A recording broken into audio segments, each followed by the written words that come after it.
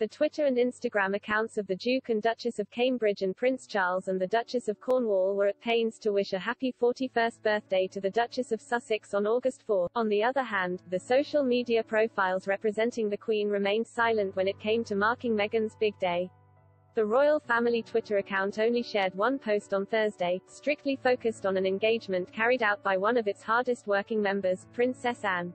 The tweet included three pictures taken during the Princess Royal's meeting with cadets at the Redford Barracks ahead of the Royal Edinburgh Military Tattoo, of which she is the patron. The post read, One day to go. The Princess Royal was in Edinburgh this morning where she enjoyed a sneak peek of the at Edinburgh Tattoo rehearsals ahead of their opening night tomorrow. The Princess, who is patron of at Edinburgh Tattoo, met Piper training cadets at the Redford Barracks. Meghan Markle accused of mocking the Queen in publicity stunt 40th birthday video Meghan Markle was accused of mocking the Queen in a publicity stunt video to mark her 40th birthday last year. What did the Duchess do?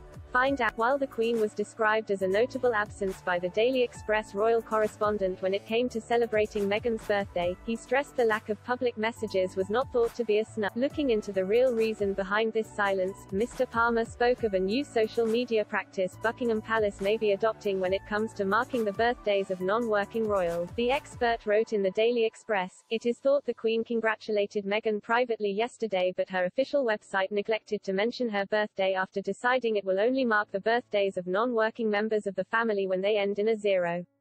Meghan and Harry have remained close to Her Majesty despite their split from the royal family and the rumored ongoing tensions with some members of the institution. During their interview with Oprah Winfrey aired in March last year, the Duke and Duchess stressed how they have kept in touch with the monarch after moving to California. Moreover, Prince Harry spoke of a really special relationship between him and his grandmother during an interview with U.S. broadcaster Hoda Kotb in April, during the Invictus Games 2020 at The Hague.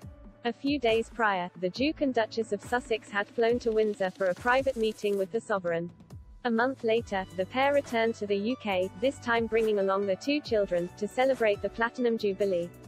During the brief stay in England, they are believed to have held a private meeting with the Queen during which she finally met in person Lilibet Lily Diana. Reports that emerged days later claimed the monarch had banned the Sussexes from bringing a photographer with them to take a picture of this sweet encounter amid palace fears they might cash in on pictures to boost the value of their own commercial brand.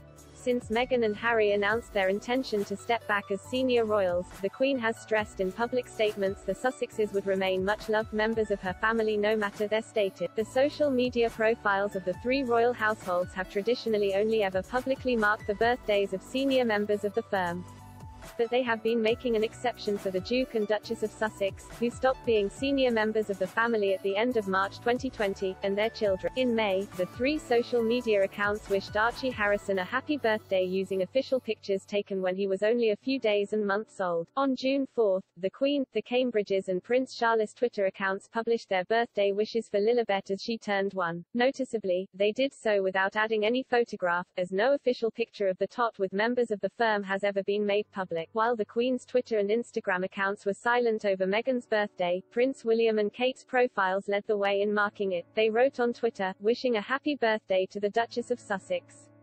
This message was paired with a picture of Meghan taken outside of St. Paul's Cathedral on June 3, where she joined other royals to attend the service of Thanksgiving for the Jubilee.